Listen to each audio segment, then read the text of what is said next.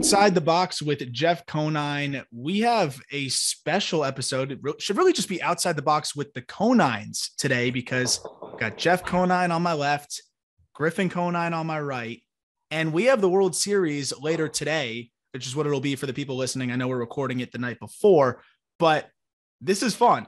I've had these conversations a million times with you two, but never in a podcast setting, talking baseball, a lot to unpack and now I got to guess two jerseys.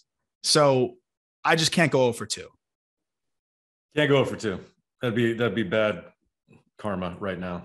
Yeah. So obviously, I know it's one Astros, one Braves. Griff, you finally get to go on your dad's podcast. You were traveling all over the country. You're living in Beloit. Uh, and I'm, we're going to talk about some minor league housing situations. You got the promotion over to Pensacola, which I think after Beloit probably sounded like you know heaven on earth. Um, and that was a pretty cool opportunity to be a little bit closer to home. But people don't realize how far Florida is from like tip to tip. And I didn't realize until I did a similar drive. So it was still pretty far. So how good does it feel to just be home? Really good. Really good. Pensacola was definitely a, a good step as far as city because Beloit was about the bottom of the barrel as far as uh, living, places to live. Uh, and then Pensacola was nice, but also a lot different. Even though it's still Florida, it was just a completely different vibe than like you know South Florida. Totally different. Like it didn't feel like really Florida, except for the beaches. Um, but definitely happy to be home, back in the comfort zone.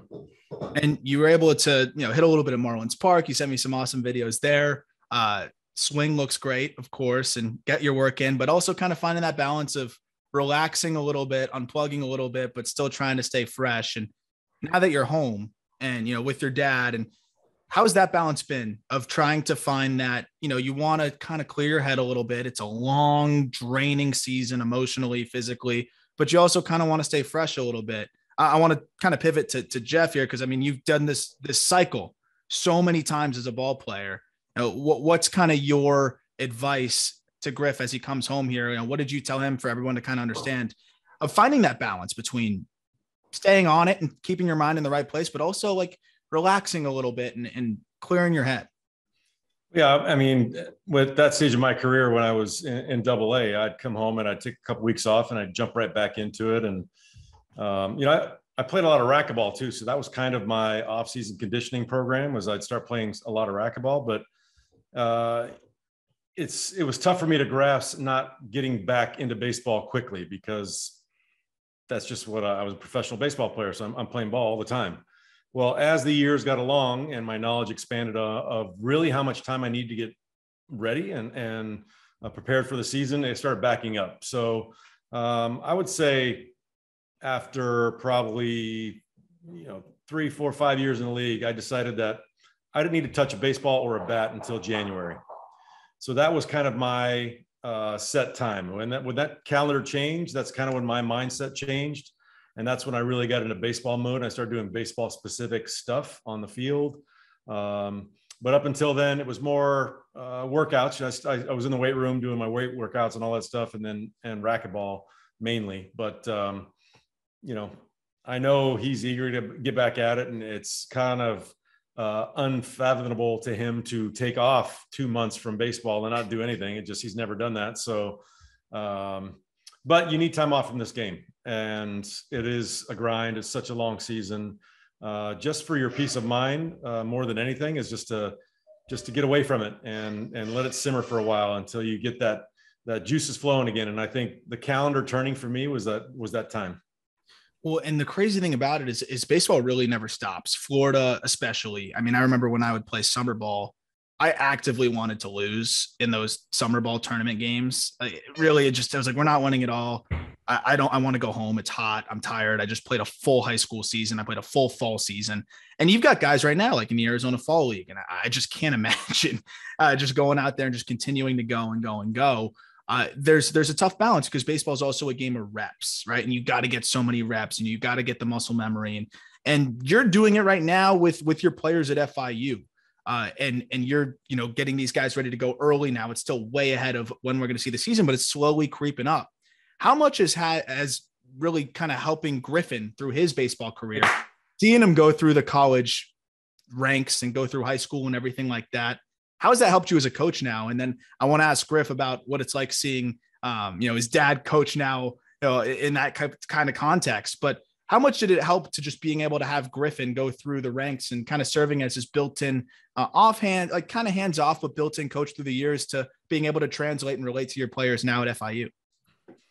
Well, it was it was uh, quite different because you know uh, Griffin was far away at Duke. I was working with the Marlins at the time, um, so I'm here at home. And um, um after we were let go, you know, I got a season where we could go up and see him often, but I never really understood what the fall season was like compared to the spring season.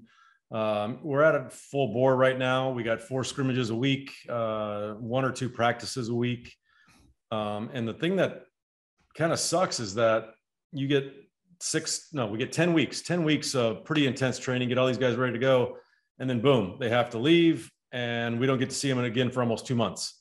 So November 17th is our drop dead date. That's when the NCAA says we have to stop. There's no more coaching or instruction after that. They're on their own until January 10th when they come back to school. So you hope that the programs that, that you give them to uh, try to keep their skills at a high level um, for those eight ten weeks, they diligently do. So when we come back January 10th, you know, because the season starts just five or six weeks later, and it's full go. That's when games start counting. So it's uh, it's a short period of time to really get um, sharp and um, back into shape. I think so. It's a weird chopped up season. And for Griff, you know, aside from the five minutes that Bob Nightingale anointed your dad the manager of the Marlins, your dad you've never really seen your dad in a coaching capacity because he as long as I knew you, at least I know you helped out often you came on the field, but you never really wanted to be that head coach. No, but my dad well, never wanted I to did. do that ever. You did? You did it? When? 11 year olds, 11 year old Weston Rattlers. I was the head Rattlers. coach, man. How annoying were the parents? Oh my God.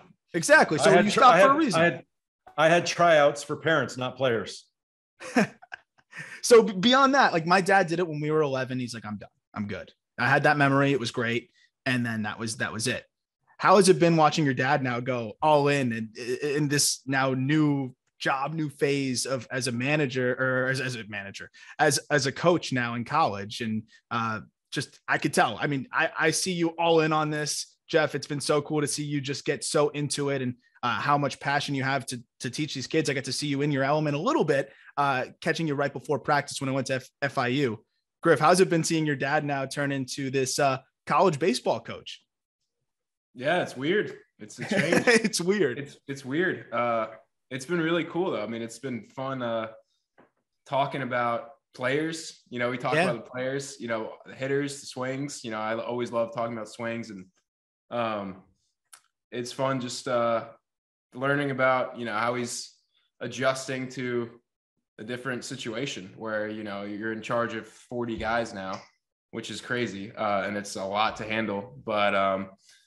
it's fun. You know, it's really cool and uh, cool to be around and uh, kind of learn about, you know, what what the college sphere kind of looks like these days. You know, I'm now three years removed, so it's it's kind of fun just being put back into what it's like to be uh, four four scrimmages a week. You know, fall ball, indies. Um, you know, it's kind of like a blast from the past. I feel like I'm back in it, and I, I can kind of feel where all those players are coming from and um, definitely it's cool see, hearing about uh, the the practices, like what they're what they're doing and, and how the players are responding. Because I know yeah. exactly what they're feeling when when he's telling me that you know they they face a machine throwing upper 90s and the guys are hating it just because they're you know they're getting blown up by it.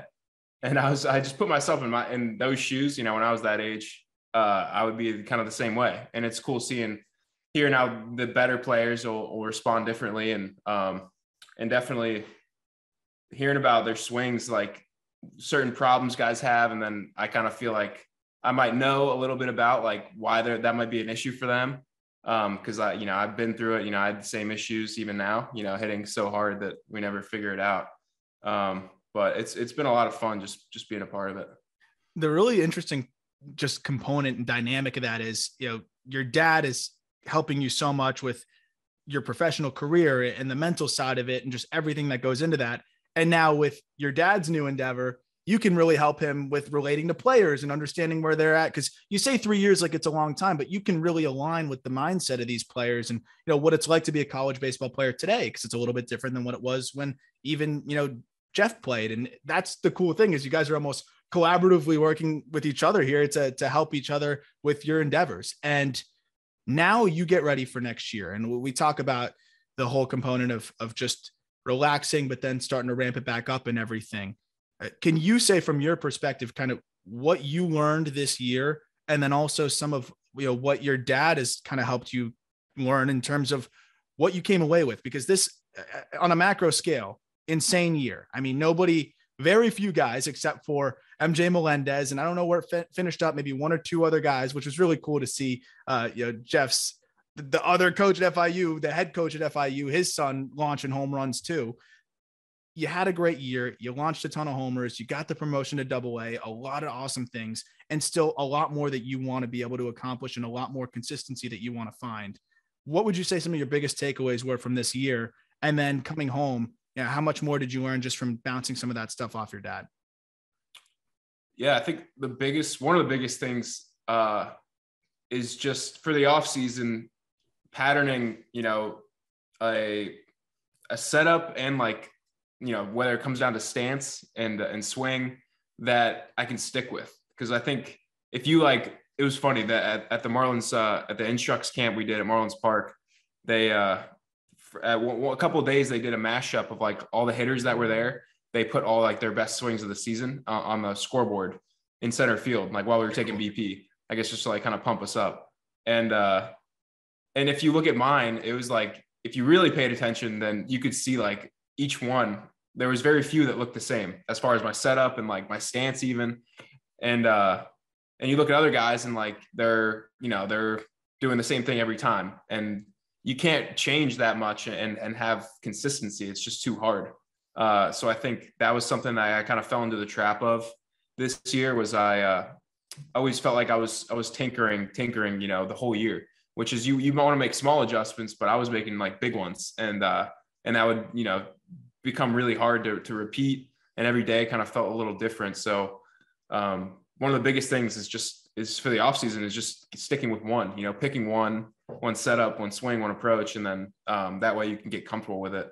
And uh, so when I, you know, when I start hitting again, that's going to be the main goal is just same day, same thing every day, same thing every day, and just repeat it, repeat it, get comfortable with it, and then that's when you can really uh, kind of clear that part out and then focus on you know what the pitcher's trying to do to you which i feel like i did so little of this year. I was so wrapped up in what i was doing in the box that like i was uh, had no space left to to process you know counts and approaches and game situations. So um, that's kind of that's it for me that's you know that's i think once i figure that out it'll just open the door for for a lot of good things to happen well, the amazing thing about that is a lot of good things already did happen, right? You almost hit 40 home runs and you had such a strong year uh, with your power output, and you were able to see, get a taste of what you're capable of, which is limitless potential when it's all clicking. I mean, when when you were you talk about sticking with something, when you were going through the stretches where you stuck with something and had a good stretch of a couple of weeks, I mean, it was like every time I checked my phone, there was a home run. You know, I'd text your dad, home run, and he'd be like, another one. And I was like, no, no, no, he just hit that. And he's like, no, no, no, like he just hit another one. and I was like, no way. like that happened on multiple occasions. So that's that idea of like when it's going right, you you felt it and it's just sticking with that. And the funny thing about that is that your dad, Jeff had most, one of the more simple, repeatable swings that you'll ever see. And a lot of people will ask me, you know, one question that they wanted. I was I was right before we got on the podcast. I was finishing up the Just Baseball show, and I said, "Hey, you guys have any questions uh, that you want me to bounce off of uh, off of the Conines uh, before I hop on the episode?" And Peter, he, he basically just said, like, oh, "What are what are the big differences?" Obviously, uh, Griffin has power that you can't teach and is in the first percentile of, of all of professional baseball. But what do you see as the big differences in terms of the type of player you are than your son? And then the second part to that question, if you remember it, I can I can throw that second part after is does he remind you of anybody that you played with or against from your playing days? I thought that was a really interesting question. Um, I think we're we're very different players uh, with very different skill sets. Um, you know, obviously I didn't have that kind of power. You know, he hit more home runs in uh, by the I don't know third week of A ball this year than I did my entire Double A season. So, um, and it's not only just power; it's just where he's hitting them too. You know, yeah. uh, majority of home runs were from to the left of center field for him, which is opposite field. Which, uh, like you said, you just can't teach that kind of swing. You can't teach that kind of contact point deep like that. You can't teach that kind of bat speed that will produce home runs to the opposite field. I mean, I think I had 214 home runs in my whole career, and probably 15 of them were to opposite field. You know, I was a pull side guy. That's all I could do is pull side. Uh, I was very uh, rotationally rotationally inflexible, where Griff is very very flexible rotationally. So, you know, he can get a lot more um, like accelerate more before the ball and let it slow down after where i had to do it in a shorter period of time so i had to have my swing as simple as possible because when i started trying to get movement in it when i started trying to do leg kicks and anything like that stuff really fell apart for me so i just kept it very simple um, with hands with feet uh, i tried to make it as simple as possible um, but you know as far as skill set is concerned He's got a way better arm than I ever had. Uh, we're probably about pretty even on speed, I would think. Um, Lucy disagrees. What's that? I think Lucy, Lucy thinks Griff's faster. Yeah. Lucy, hey, no, no, I'm faster. I was faster. Um, and uh, the other que- the other part of the question about does he rem- what does his swing remind me of anyone's um that I played with or against? Or against. Um, I don't know. I've never really thought about it. I've i never, really thought, thought, about, it, either. And I, have never, I, I can't like, nothing really pops out at me. Um, I'll say someone with the Marlins gave me the Giambi comp. And That's a sick comp. Some of him, and I was like, that's pretty, you know, what couple of the stances that I chose. Well, yeah, I guess it, I guess it, it depends on what stance he chose at what period of time. Yeah, which Griffin are we talking about, right? Yeah. But Giambi was, man, he was one of the best hitters in our league uh, while he was playing. He was a stud. Like that guy could absolutely rake, um, not only for power but average as well. This guy, um, but he was very simple. He didn't have a whole lot of forward movement. He was more of a rotational type hitter, yeah. which I think Griff is too. He's very good rotationally um, during the quarantine when I put the cage up and and Griff started messing around with like a Bonds type swing. You know, uh, he could do that. So, you know, I told him, man, you got to be you. You got to figure out you right now and stick with it. So, like he said, when I come to spring training, I know me. I know what my swing is, and that's what I'm going to build on uh, from here on out. And that's a component that, you know, after that happens, the mind is is the, the final frontier, as I like to say. A hundred percent. And we're going to talk a little bit about the World Series too, and then I want to wrap up with just moving forward a little bit and and the minor league housing situation because Major League Baseball, which we've talked about this in the last few episodes, or at least a few episodes ago, Jeff, about the housing situation, minor league situation in general. Major League Baseball says that teams are going to provide housing. Uh, but I think with you two together, we can provide some interesting uh, insight as to what that whole situation is like and uh, why it's so big that baseball is finally uh, doing something about it. But first, I wanted to talk about the playoffs and the World Series that we're about to enjoy. And I know I have two jerseys to guess, but the one thing I wanted to talk about before with the mental side of things, Cody Bellinger stands out to me above all uh, in this postseason, even though the Dodgers got bounced. Is he hit 160 the entire season? And you know, I remember texting Griff and being like, "What are you seeing with him?" Because we'll just always talk about hitters, and you know, just his timing looked off. I'm sure he wasn't 100. percent He wasn't healthy. Seemed like he was a little bit in his own head, but all of a sudden he turns the page in the postseason and was phenomenal. I mean, he had a, their season saving to that point, three run shot. He was so locked in. I, want to start with you, Griff, because you're in it right now, and, and you had the hot streaks and you know the cold streaks.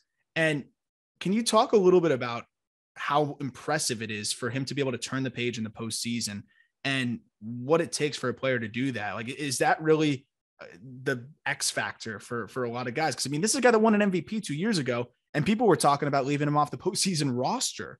uh, when we were going into this offseason or into this October. And now he was a big reason why they made it even as far as they did.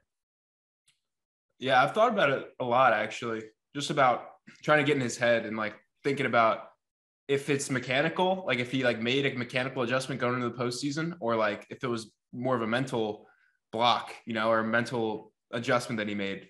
And I go back and forth, but I think, I think, I think for him, it's really mostly mental. Like I think, I think he really loves, he like loves the big moment, which is like, which is crazy because it's so hard to do what he did. Because postseason, I mean, the season's hard enough the way guys are throwing these days um, and he's getting carved up, blown up. And then the postseason, everything's elevated. You know, everyone's throwing their best stuff, their best guys, and he's hitting 350.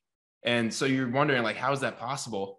And uh, I'm sure there's mechanical adjustments or you know cues or whatever that that he figured out. But I think, I mean, I think the perfect example is the three-run homer to, to tie the game in the eighth, where he was blown up. He, he was missed a foot under a fastball right down the middle. And then the very next pitch, he, it was 0-2 and then he he climbs the ladder three balls up and hits it out and it swings it was actually cool we were at um at instructs we did the next day after that happened we got i got a comparison of those two swings uh, our hitting uh, one of the hitting guys put it together and uh it was it was so cool seeing them side by side because one was like it was just night and day like the adjustment was insane like i've never seen that big of an adjustment made pitch to pitch like ever and that just tells me like he literally willed himself to like he missed so far under. He's like, I'm not gonna. I know what he's coming with, and there's no way that I'm gonna miss under this pitch. So he was just over. He's probably looking to chop it into the ground, realistically, like get a just get a base hit. And and it turned out that it was so high that the the swing he took to get on top of it like backspun it perfectly. Um, but I think yeah, I think Bellinger, man, I think he just he eats that stuff up. Like he loves, he wants to be the guy, and and he loves being the guy and that's you know that's what he's been like. You know, he's just a great postseason player, so it's it's cool to watch. Two takeaways from that was that you saw a little bit of uh, mechanical adjustment because he sat into his legs a little bit more than he used to. Because before it was literally stick straight, like everything was straight up and down. You saw him squat down a little bit. You saw a little bit of bend in his knees to soften things up a little bit. But how about the base hit opposite opposite way with two strikes in Atlanta? That to me was so anti Cody Bellinger. This guy swings and wants to hit the ball to the moon every single time that bat goes to the zone. Where this one was could have been a ball off the plate. He puts it in play in another big situation and gets a base hit where no one's playing. That to me showed that Cody Bellinger was in it mentally and uh, making those adjustments with two strikes to at least put the ball in play. I was just so excited to, to get both of your thoughts on that because it was so amazing to me. I, I gained so much respect for Cody Bellinger after watching this postseason because he seems so lost at times at the plate. And like Griff mentioned, to, to make that between pitch adjustment, I think at times in the regular season, you miss that bat on a pitch. I mean, Griff, you could probably attest to it. You miss that bat on a fastball, you're like, oh gosh, you know, I'm doomed here in this at bat, right? It's it's like this deflating feeling when you're going bad. But he shut it down and was was ready to go the, the, next pitch. And I think that was what was really amazing about it. Despite that, the Dodgers get bounced, and your dad called that. Jeff called that the Dodgers were going to get bounced because I threw a fit after the trade was made with Scherzer and Trea Turner to the Dodgers. I said baseball's turning into the NBA, and I was complaining about the super team. And your dad's like, "It's baseball. I, I, I bet they go down." And yeah, they had some injuries, but they went down and they on paper were still better than every team out there. I want to start with you on this one, Jeff, and then I'm going to guess the jerseys after I get Griff's take on this too, because I'm sure you guys have been watching the postseason together. What has amazed you about this Braves team, and how were they able to overcome their own limitations? Like we talk about the Dodgers' injuries, the Braves are missing a top three, maybe top two player in the game in Ronald Acuna and also their ace to be in Mike Soroka, who missed the whole year. Uh, several other pieces as well. How were they able to do this as a 88 win team? Uh, as someone that's been a part of two World Series champions that weren't expected to do what they did either. Um, I think you look start your investigation uh, with Brent Snitker and what he's done for that clubhouse and how he's pulled that team together. Uh, he's got arguably one of the biggest gamers uh, that is leading that team in Freddie Freeman. He's been there his whole career. The guy is a gamer. He's a stud. He knows how to play the game the right way. And I think he's rallied these guys and taught the young guys how to do the same. Uh, you look at Riley at third base. I mean, this guy is going to be, he's got potential to be a superstar, but he's unfazed by a 24 year old being in these big pressure situations. This guy doesn't, it doesn't matter to him. Albies, I mean, did he step up his game or what after Acuna goes down? You know, and I'm looking at his swing and I'm like, I'm telling the FIU guys today, you know, I'm just talking mechanics with him. I'm like, look at Albies, look at Albies swing. Has anybody been watching the playoffs? They're like, yeah, yeah. I'm like, look at Albies swing. And he goes, oh my God, it's unbelievable.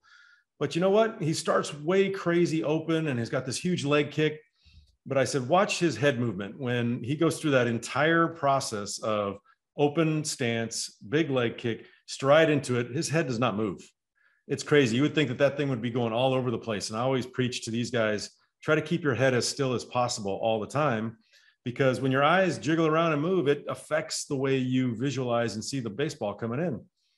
So I think Snitker's done a uh, an amazing job. He's a Bobby Cox disciple who is a um, non-analytics guy. He's an old school baseball guy. He's been in there for 40 years, and this is the first time he's ever been to a World Series. And I'm just happy for him as another old school baseball guy that that loves to see uh, the way this team is constructed and the way to see this team has played in this this offseason. They've gotten you know, so many con- contributions from guys you would expect. Uh, Matzek the other night coming in. Cool. I didn't even know this, but Griff, Griff told me he's doesn't even play baseball for five years. wasn't in the major leagues for five years, and comes in with arguably two of the biggest innings he's ever thrown in his life, or maybe the Atlanta Braves history. You know, to uh, shut out the Dodgers and seal that championship. We we gave out our predictions for the series, and and Matzek was a big X factor for me because you talk about not being analytically driven with his managing as much. And something he did there to go to Matzek, left-handed pitcher against a right-handed hitting Albert Pujols, who legitimately the only reason he's still on a major league baseball team right now is because he crushes lefties still 950 OPS against lefties, 500 and change against righties. He's unusable against righties. He crushes lefties. And the first guy that Matzek had to face was Albert Pujols. Snitker didn't care. He went to his guy. He wanted his guy in that spot and he got he went to his guy and it worked. Griff, you watch now this Braves team do what they did. You also see these teams that, you know, we're told so often the Rays, even the Dodgers, but a lot of these analytically driven teams that, you know, let's be honest, they script their games out before. You can tell. I mean, two batters or three batters, Roberts is out there and he's switching it up. And uh, you see a guy going on feel like Snitker and Alex Cora went on feel for a lot of a lot of his managerial decisions and they exceeded their expectations.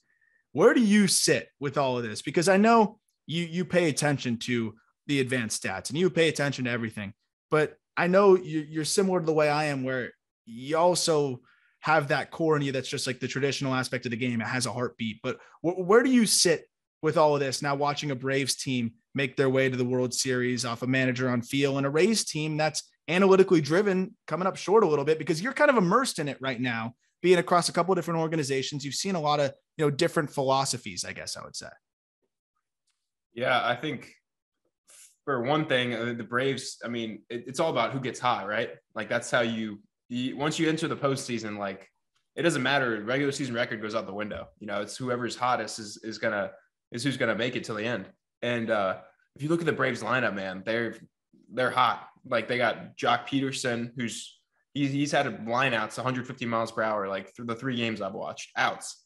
And he, he's not missing a barrel. Rosario is unbelievable. We were just talking about him the other night about how how gorgeous. I texted you. I think I was just like explain him effortless.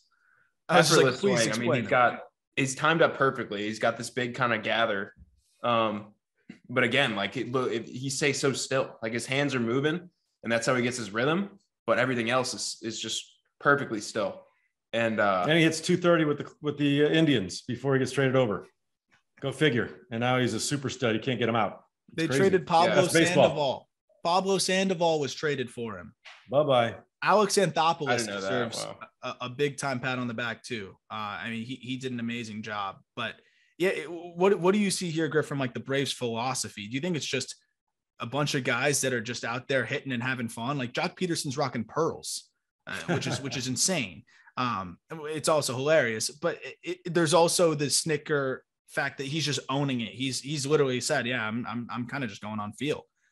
What situation would you rather be in as a player in terms of like the feel managerial balance of both or or knowing that you have all this data behind it and and you know it's make you're making the most data driven decision? Uh like what kind of environment because every team does it at this point. So how deep do you want to be into it uh, as a as a player? And how much do you think players focus on that? Because you've seen players like Carlos Correa come out and say I only look at the advanced stats. But then a lot of other guys don't really pay attention to it at all uh, and I think it's an interesting kind of juxtaposition there.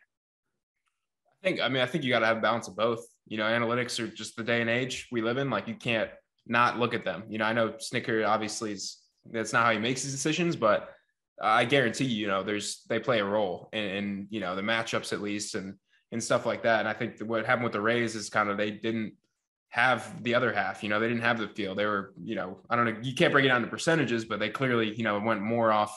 I'm going to go with what the data says rather than like what my eyes are telling me. And I think, you know, he's Snitker does a really good job of like what, you know, managing the situation. I think, I mean, the pinch hit Adrianza had, that's a perfect situation, you know, Paul Anderson, who was, he was I dealing. Was, I thought that was probably could have thrown three more innings. You know, they got a great pen, but he, he's, he's got them on their, on their heels and, uh, pull him, pull him out. And Adrianza, who I don't think he, he's been like a pinch hit guy for them. but I don't think he really in the postseason had done much. And, uh, you know, gets the jam shot double, and eventually that leads to a three run homer. So just, and that was, you know, that was the game. That was the whole game, just that pinch hit. So uh, it's really cool watching stuff like that happen that doesn't as much these days, you know, with, with pinch hits, you know, obviously pinch hitters still have, still occur, but I think uh, managerial moves like that don't happen as much. Um, and uh, that was really cool in itself to watch just how that they rallied around that. And then that gave them you know the championship win.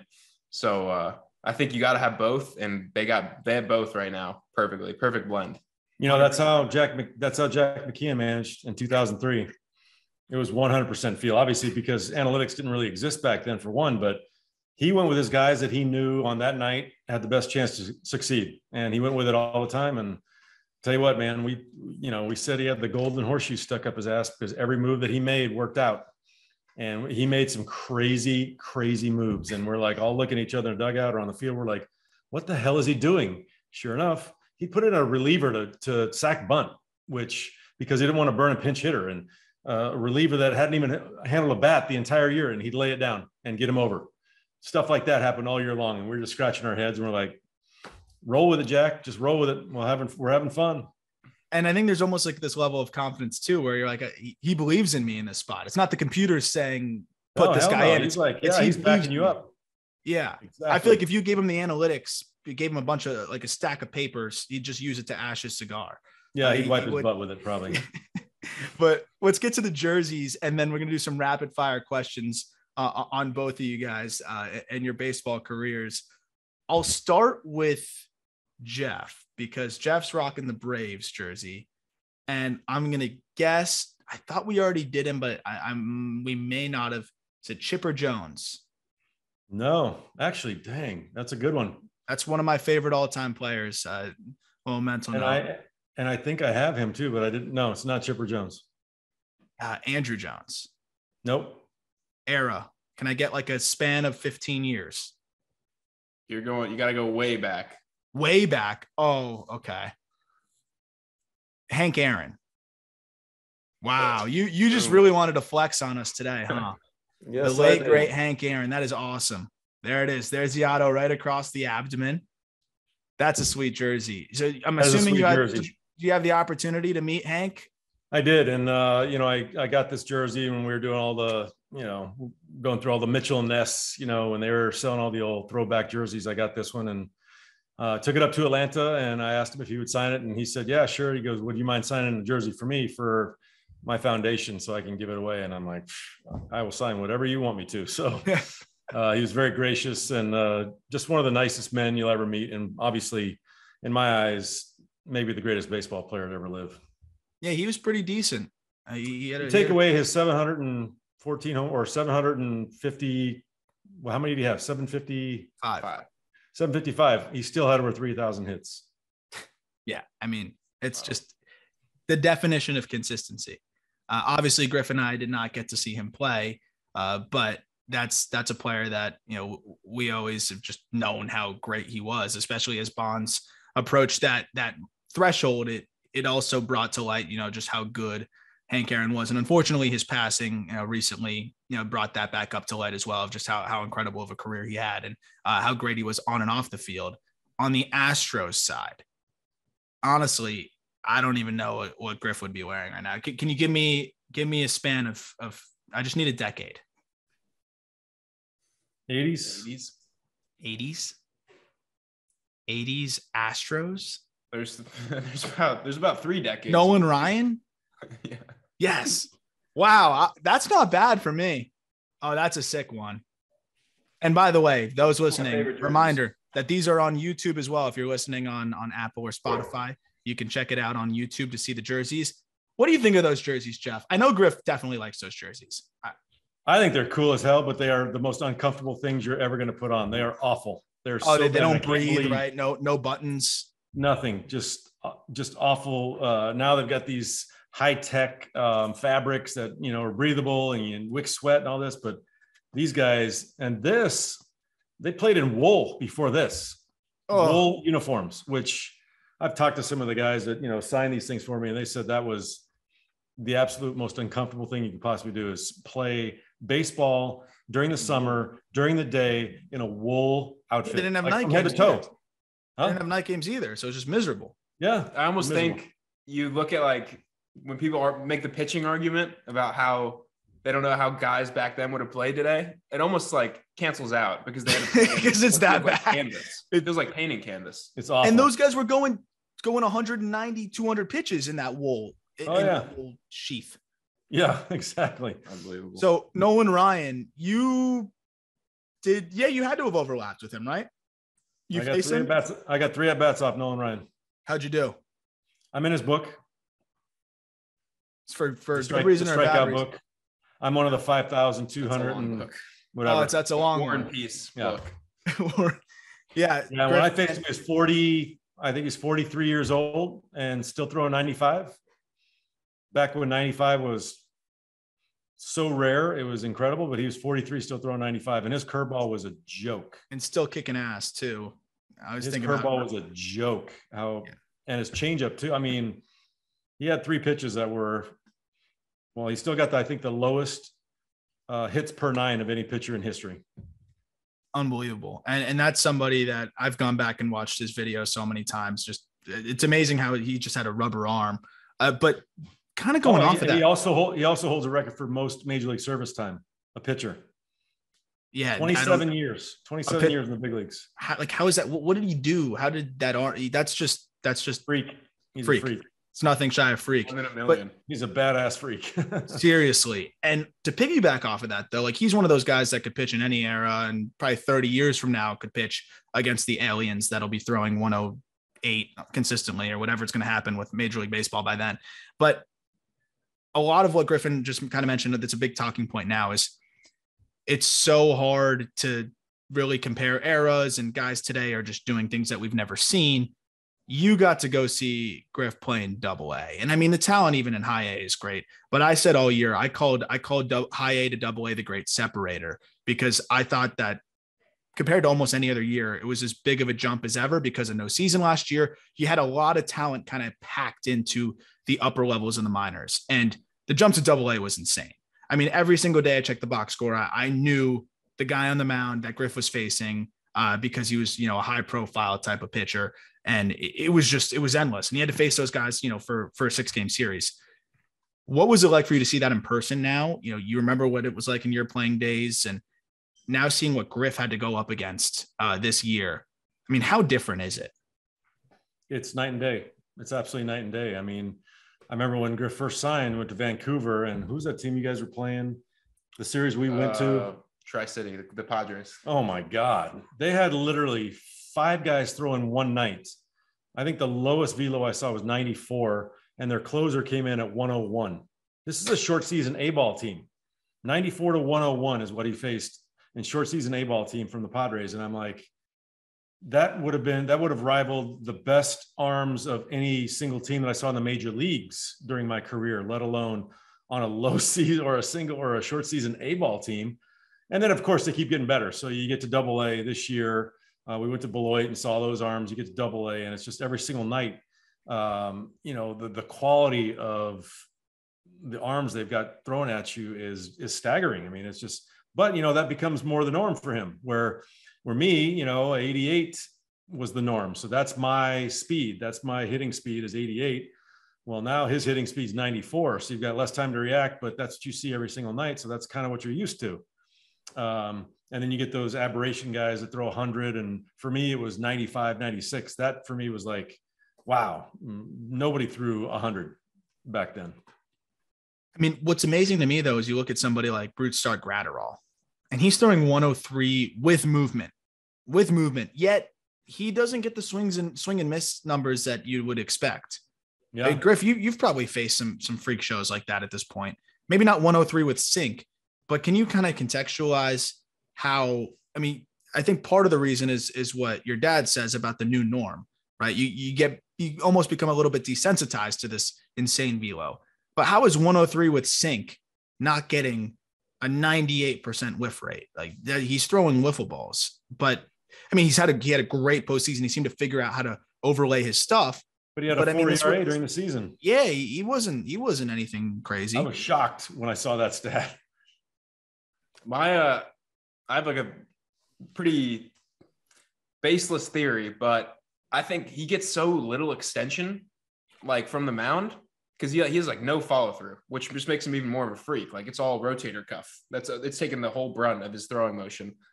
Um, and it helps that he's you know 250 or 260 pounds or whatever he's listed at, which I did not realize he was that thick of a guy. But um, I was I'm wondering if like maybe his complete lack of extension kind of gives like you're just giving the hitter more room to see. Yeah. So it probably plays down a little. It's still insane, and I think it's just a testament to like hitter preparation these days, you know, and what they can do. And I'm sure, you know, I'm sure they got um, the machine going as hard as it'll go and kind of mimicking his his pitches because they know he's, you know, he's the guy out of the pen. Same with Treinen.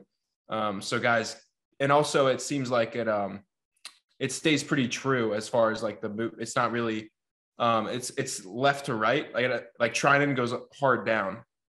So that seems like it's more it's it his more of a barrel misser. It stays, yeah, it stays on a similar plane. So I, I, I would guess that's why he doesn't get um, the crazy swing and misses that he should.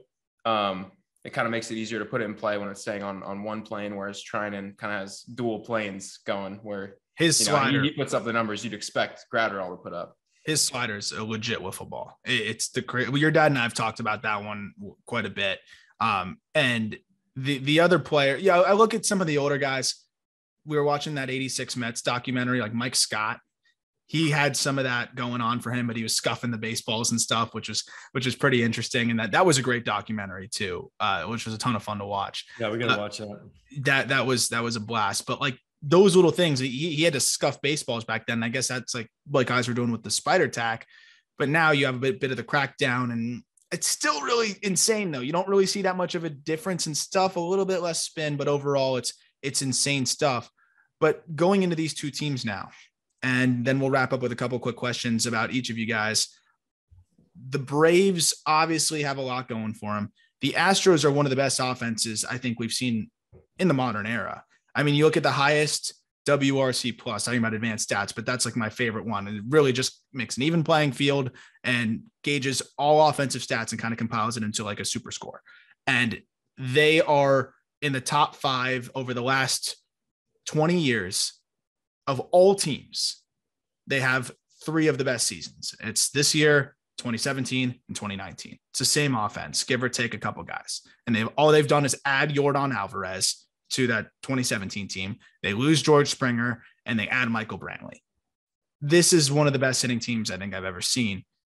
It's unbelievable to watch. Starting with Griff this time, you're watching these guys hit. I mean, just from top to bottom, their first seven guys. Kyle Tucker hit seventh.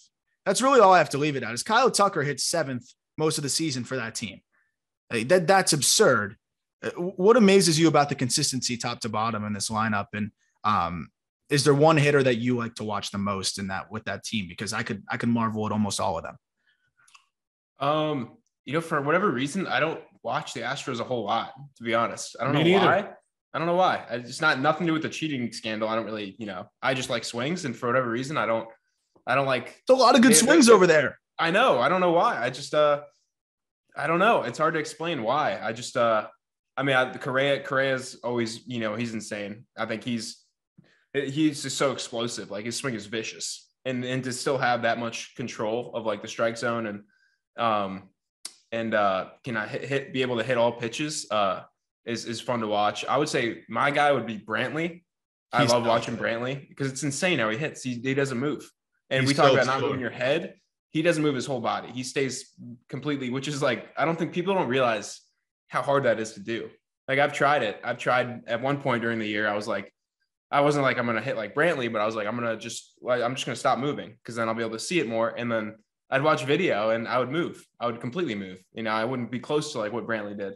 Um, so that just takes so much practice and discipline to to master. And then it's no wonder why you know he sit he hits 300 every year because he does the same thing every time, and he's got a really smooth smooth swing and still has pop even with with uh with such little movement. Um, yeah, Kyle Tucker uh had a really good year, and I think he's you know every, everything that I've seen about his swing, and you know he's he's a pretty unique swing and approach, and um, Yeah.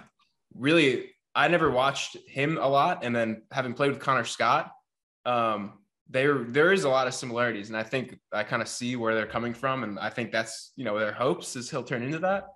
Um, and uh, I mean he's still super young, you know. There's no telling you know what he what he can do, and uh, it's also interesting that his his sister dates Kyle Tucker. So No like, way. somewhat close. Yeah, They went to the same high school, Tampa Plant High And, School yeah, in I didn't know, I didn't know that either. So now it's kind of making more sense. and they like, have how similar they left-handed similar left-handed swings. very similar. Like he clearly watched him a lot and, and saw Yeah. a lot of things he liked. And um, I didn't know I that. mean, I like his swing a lot too.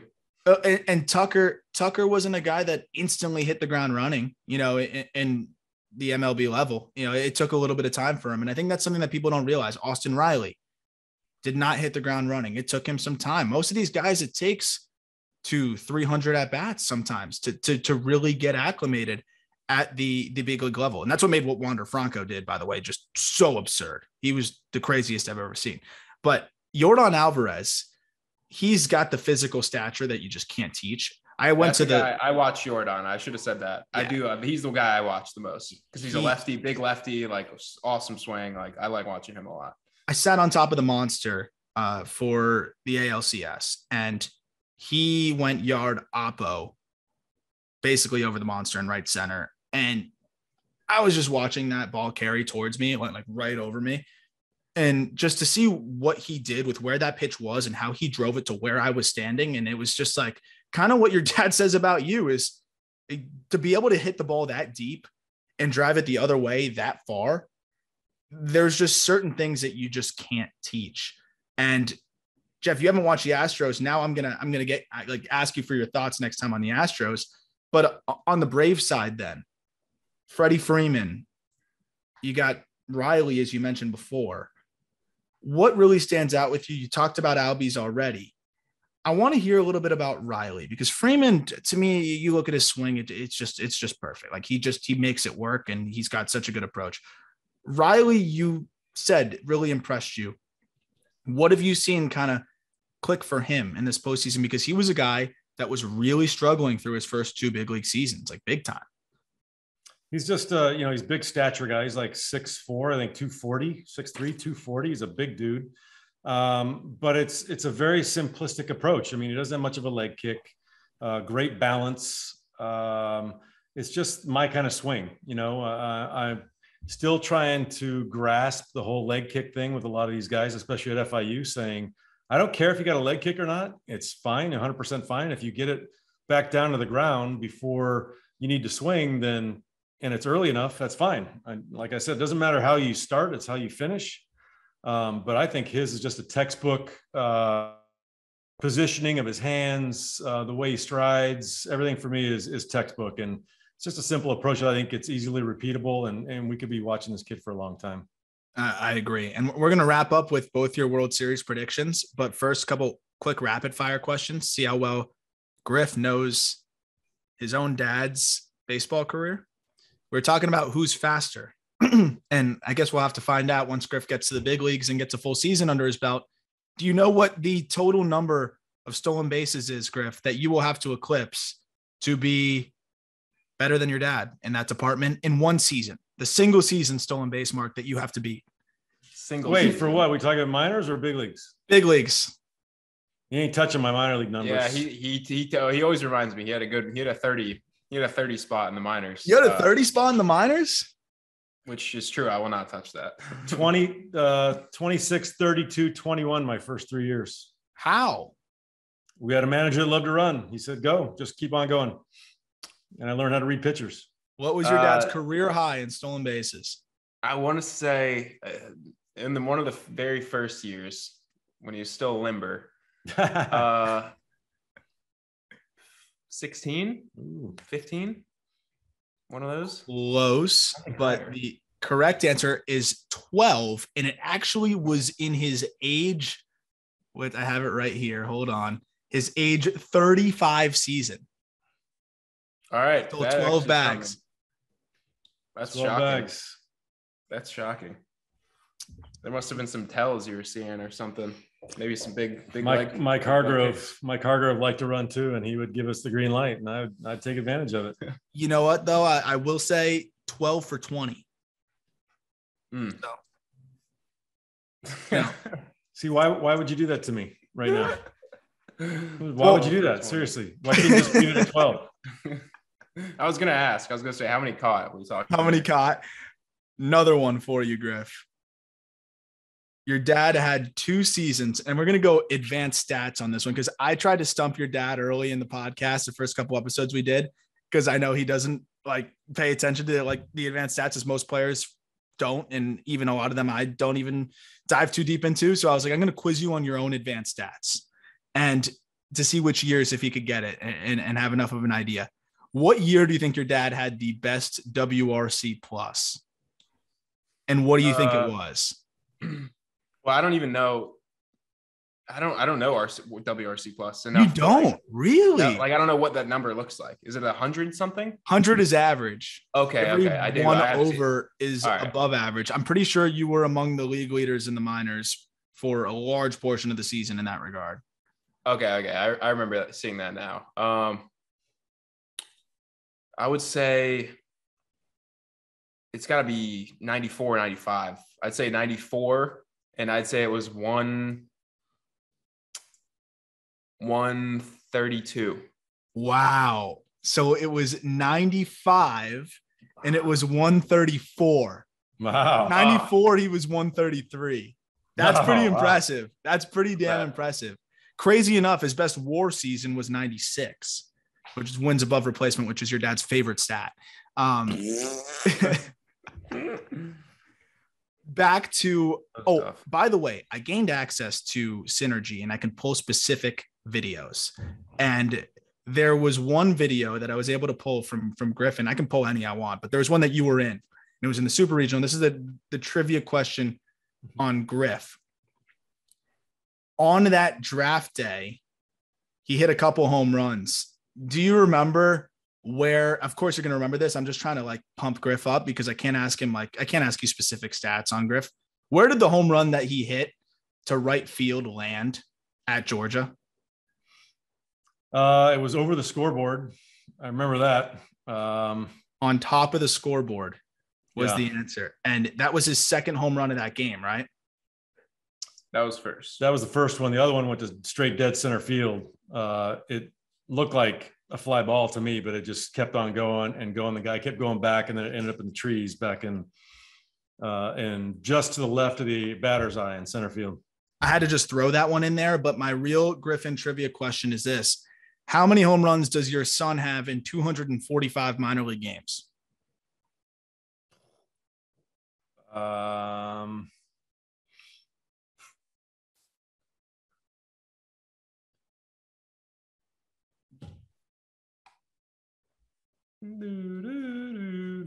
Mm, 65. no way. You got it. Boom. 65 Math bombs. major. Boom. Wow. Math major. That's pretty good. Oh, Lucy loves the Lucy clapping agrees. too. Lucy agrees. Lucy, stop. 65 homers. You got it. I'm going to give one more question each and then your World Series predictions. On, of course, Jeff's side now. By the way, did you know you set you had the league lead in sacrifices one year? Um, pretty pretty cool stat, Jeff. I'm, you know, personally. I broke Griffin's record, career record at Pinecrest for sacrifices. So I sit in the record. book. flies you're talking about, right? It's that total. It takes both bunt and flies into Well, I never bunted, so it was all Yeah. sacrifice flies. 12 sacrifice flies. I, I, I live in immortality at Pinecrest for the all-time sacrifice. in the sacrifice record leader. books. Gamer. gamer. I was just willing to do whatever it takes.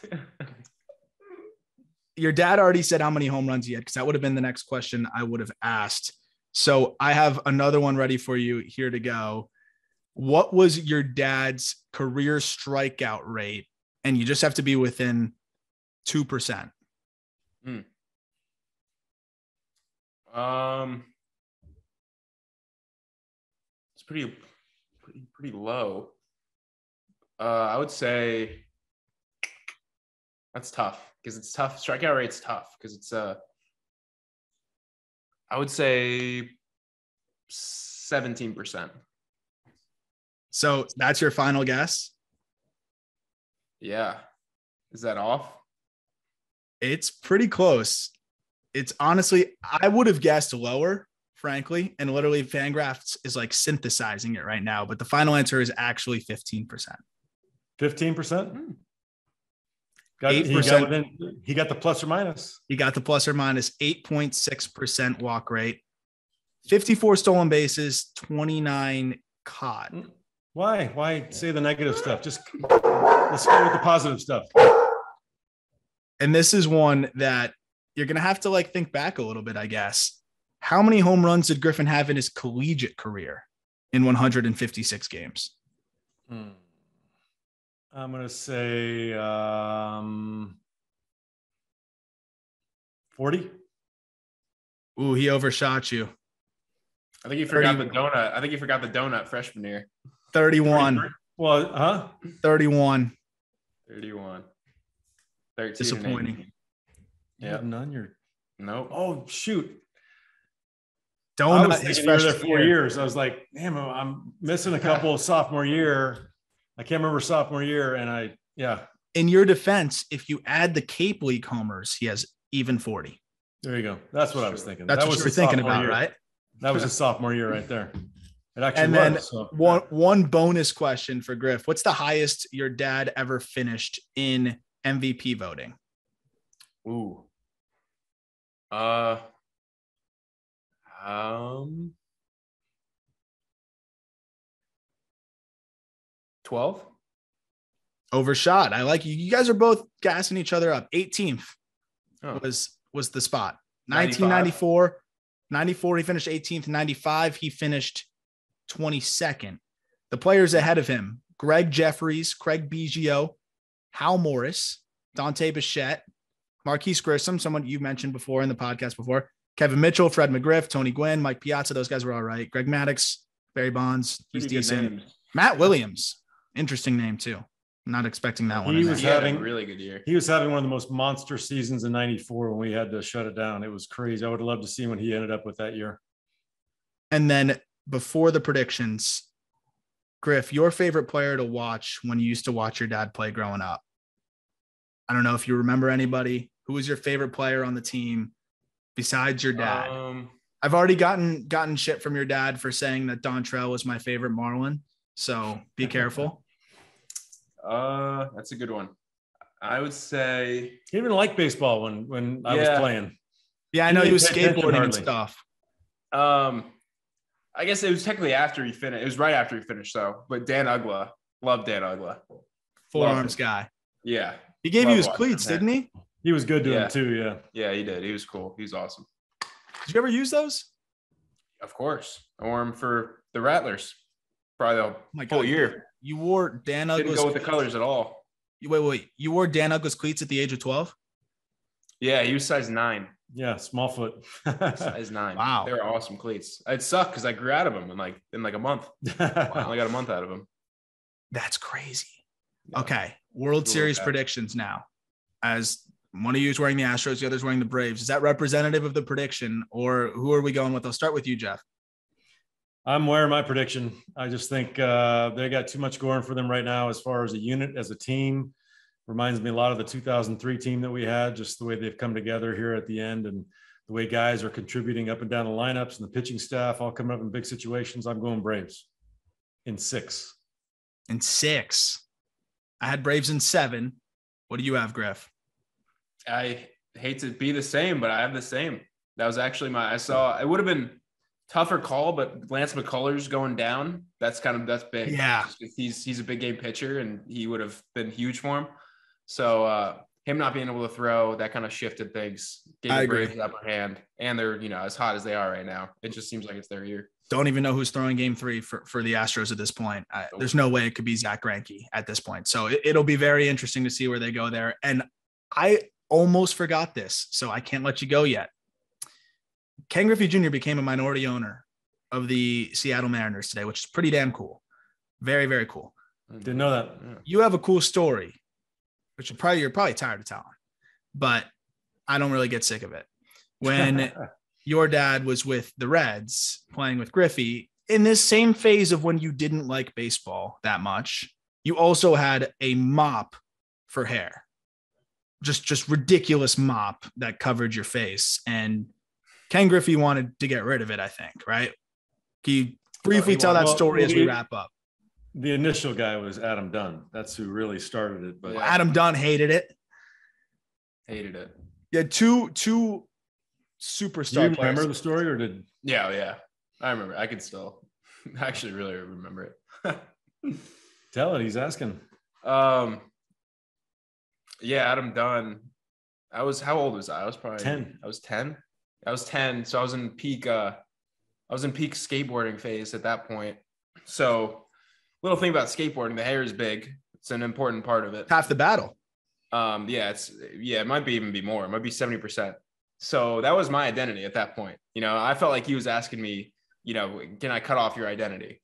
So 10-year-old me said absolutely not. And he offered, I think it was a grand, um, which meant nothing to me as a 10-year-old. I was like, that's, you know, I I didn't have anything to do with money at that age. I guess in hindsight, Your dad in showing a hindsight, yeah, get that off me. But at the time, that was the most important thing to me. So didn't bat an eye at it. Just kind of dismissed it. Then Griffey comes in and says he'll he'll match his grand. So now we're looking at two grand. And uh yeah, nothing doing. Wasn't wasn't feeling it.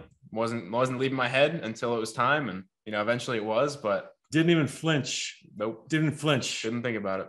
Didn't think twice. Didn't think once. What if that Thank you. offer was made now? I would I mean, yeah, I would shave my head. I would do anything. for two grand. for two grand. It was especially, I think what goes beyond that is if Ken Griffey was telling me that. Ken Knowing Griffey now, like my Ken head. Griffey's a legend, and I, I just didn't even, I didn't like know baseball enough. I didn't watch it enough to like realize that. And Adam Dunn, for that matter. I mean, that guy almost had 500 homers. So But um, God forbid if Tony Hawk said it, if Tony Hawk wanted to shave your head, oh yeah, I might have done it. I might have done it because he didn't have the flow, and that could have that would have registered more with me. But uh, yeah, that's that's a funny story. Unreal. Well, that's one of my favorite stories. Of course, you didn't end up cutting the hair. Griffey moved on to just hitting 600 home runs, and uh, Adam Dunn hit 500, I believe, right? He finished 500 or no, just shy, 400 and change, and Yeah. a lot of strikeouts, but really good career. That was a pretty cool team that you had over there in Cincinnati. Um, and I'm, I'm guessing that Votto was on that team too, wasn't he? Votto was a rook. That was his rookie year. Hamilton. Hamilton. Josh Hamilton was there that year. That was a yeah, that was actually a really cool team. So as we wrap of up, storylines going on. A lot Yeah. of storylines. a lot of storylines there for sure. A lot of storylines for there and, and a lot of uh, historic players. We'll definitely do this again and we'll be able to do, I'll have way more trivia ready to go. And also just looking forward to following up with both of you guys as things go on. Of course, your dad's in school. Uh, so I know he's probably got homework to do. It's already getting. I got an 87 on my midterm yesterday. You got an 87 on your midterm. That's really Yeah. good. Congratulations. Good shot. B plus. Yeah. you, you you switching sides here, Griff. It's like kind of a role reversal. Yeah. He's telling Yeah. me to get my ass in the Yeah, room get and study studying. for my, for my work, get my Yeah. work done. Yeah. Well, I love it. It's so much fun. And we'll, we'll do this again for sure. Thank you guys both. I'll see you in a few weeks. I'm coming home for Thanksgiving. We'll get after it in the cage. Got to see the FIU facilities. It was awesome. Can't wait to go back and I can't wait for opening day. Uh, I'll see both of you guys soon. And all those listening, thank you for listening. World Series is underway. We'll have an opportunity to talk to hopefully both of you guys again, or at least Jeff will be back to talk about some of these World Series games as we move forward because my X factor, the definition of a gamer, Charlie Morton, is going to come up big in game seven. Just mark that down right now. Uh, but looking forward to talking about it. And uh, until next time. All right, brother. See you, bud.